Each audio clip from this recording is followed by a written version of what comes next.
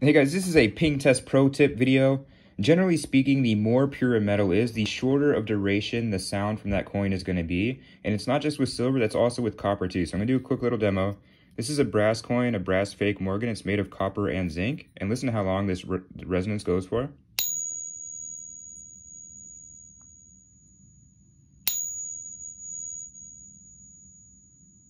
You can see how, see how long that continues to go? So this is a copper alloy. It's mixed with copper and zinc. And this is a pure copper coin. And see how long this one resonates for.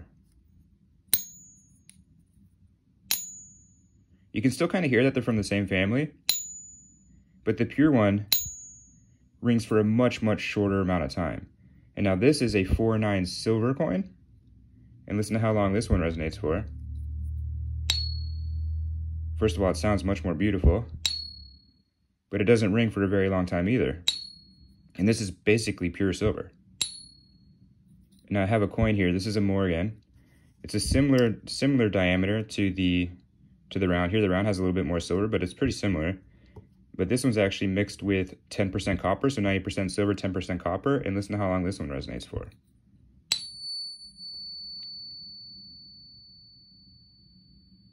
That is a beautiful, authentic Morgan dollar.